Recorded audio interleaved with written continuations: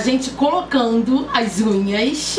A gente foi ótimo, né? A gente. A gente, pois é. Verdade. é. Pois é, eu, eu tava aqui é, dando também a minha colaboração. Com certeza.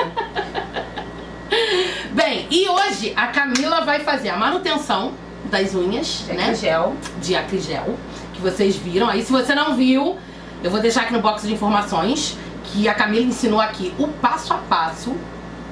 E hoje a gente vai fazer manutenção e uma nova decoração, aí. que vai ficar de arrasar. Porque a Camila já viu que eu gosto de brilhar, Com certeza. entendeu? E a Camila faz cada unha linda, que vocês já estão acompanhando também lá no blog e lá no canal da Camila também, ela dá dicas maravilhosas. Verdade. Não deixem de assistir. Então, vamos lá. Vamos lá.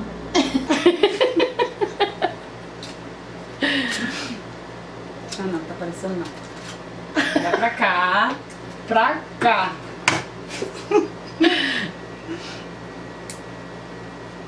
Cuidado, Camila, Ela essas tá- pedrinhas. Ela tá preocupada com a pedra. Que preocupação que. Ah, isso, tira por baixo. Não, mas você, essa pedra vai pro lixo. Não, não vai não. Vai. Vou guardar todas elas. Você é maluca. Sabe? Ah, essa voou. Mas é pra voar, cara.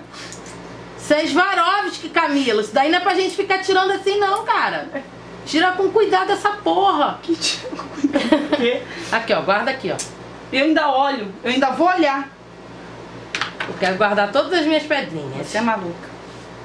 Dá um dó tirar pedra de unha. Puxa vida. Pedra era uma coisa que. Aliás, a unha da gente ela já podia ser igual um cristal, né? Igual um LED. Podia... Verdade. Pra poder brilhar assim acesa. é. Aqui, na manutenção da, da CIA, é, vamos fazer a manutenção de acrigel. Então tirou o esmalte, tirou, vai ficar uns excessozinhos aqui, não tem problema. A gente vai tirar o excesso do produto. E no cantinho, passa devagar para não pegar na pele da cliente, tá? Porque depois a gente vai botar o produto novamente aqui. Mas isso eu faço antes de cutilar. E uma dica, que quando, todas as você vai saber, ah, quanto como é que eu vou explicar? Como eu vou saber que já saiu o produto todo? Se tiver saindo esses pozinhos aqui, é porque ainda tem um produto.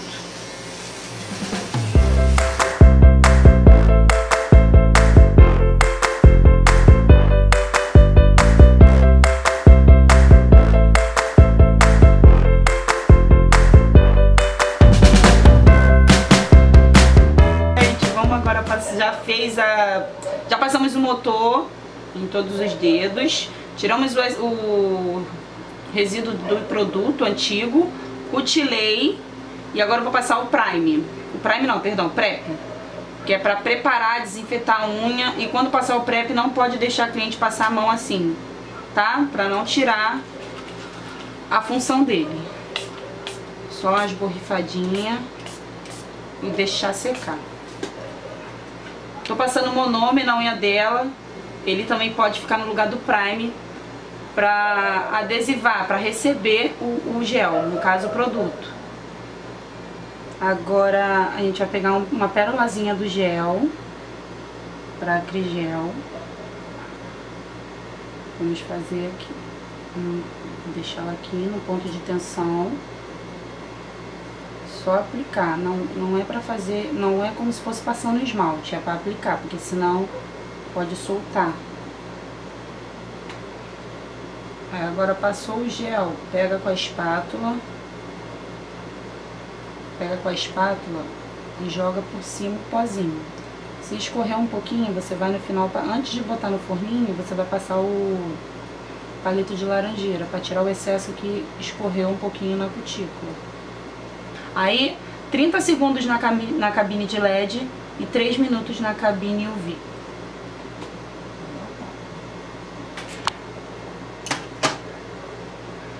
Agora a gente tá passando a lixa bloco pra deixar um pouquinho áspera, tirar aquele aquela parte do gel que fica aqui grudando, a gente passa a lixa bloco no cantinho pra receber a, a próxima camada do gel e do pó.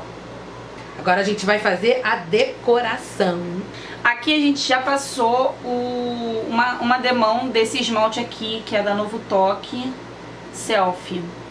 Aqui nos outros dedos nós é, concordamos de colocar a francesinha. Aí tem cliente que gosta daquela francesinha em U e tem a reta. A Si preferiu colocar a reta.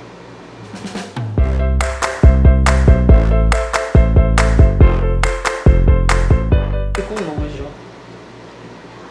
Passar uma demãozinha desse esmalte branquinho.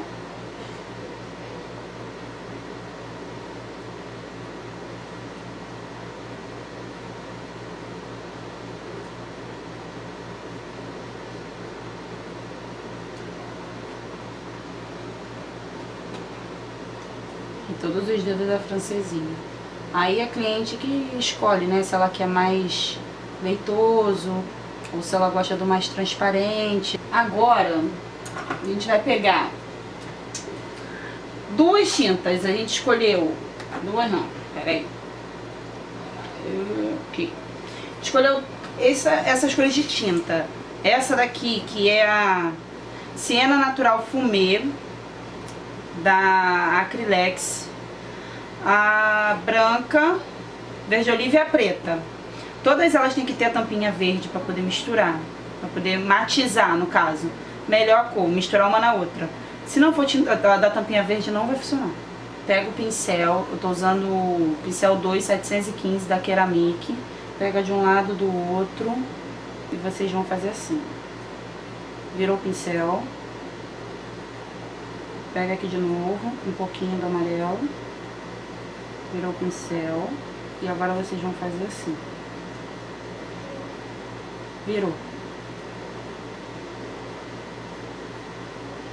Se achar que tá muito claro, pega mais um pouquinho. E vai pra cá. Agora a gente vai pegar o gel pra matizar, que ele mistura melhor, só que eu, eu particularmente uso ele na segunda camada. É bem pouquinho, gente, não precisa tacar matizador no negócio não. Mistura assim, como se você estivesse misturando a tinta. E vamos fazer por cima dessa daqui. Vou pegar aqui, ó. Vou fazer tipo um U, a letra U invertida. No caso, a U é assim, vou fazer ela invertida. A gente tem que matizar sempre, toda hora. Cada, cada detalhe tem que ficar matizando. E vamos pro verde, o verde oliva. Que é onde vai vir as, as folhinhas um pouquinho da branca e um pouquinho da verde e vamos matizar de novo. Tem gente que não gosta dessa, dessa parte, mas é o único jeito. Não tem pra onde correr. Eu vou fazer uma aqui embaixo, puxando aqui embaixo, outra aqui, uma aqui e outra aqui. Eu vou aqui no meio do, do U invertido, dessa, desse miolinho aqui, eu vou fazer isso aqui, eu vou dar continuidade. E com, com, com branquinho ainda, eu posso puxar aqui uns, umas pontinhas, umas bolinhas. Com o mesmo pincel, a gente vai fazer o contorno agora da folha. Em preto, ó.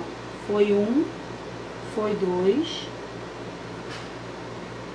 E fiz o contorno.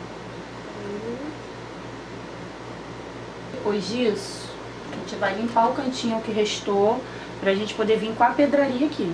Entendeu? Que é o que a parte que você mais gosta. Eu tô colocando uma Swarovski e outra comum. Uma Furtacor e outra, no caso, pratinha, normal.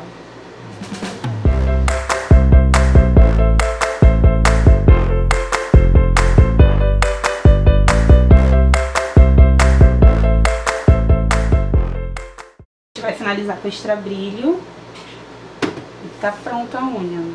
Pode passar o extra brilho sem problema no, na pedrinha. Ainda assim. Que linda! Ai, tá que é brilho puro, minha gente. Ah, gente, finalizamos, ó.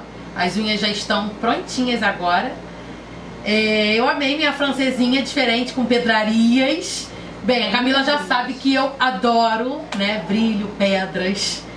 Eu estou amando ficar com as pedrinhas. É, minha sogra até perguntou se não incomoda na hora de lavar. É, a gente sente. O fio às vezes prende entre as pedrinhas, mas não descola a pedrinha, não sai a pedrinha. Então, assim, passou, você sente que tem alguma coisa ali na unha, mas nada que prenda, né? Tipo um, um nó de cabelo. Não. Ela não chega a prender e assim, não solta. Você pode continuar deslizando no, no cabelo que ela não solta. O cabelo até. Você sente o fio passando ali né, entre uma pedrinha e outra, ou entre uma pedrinha só, você sente o fio passando, mas ela não chega a soltar. As pedrinhas ficaram em todas as unhas, inclusive na, nas unhas que caíram, né, uma unha eu prendi no portão, é, é, a pedrinha continuou ali, então ela fica assim, bem segura.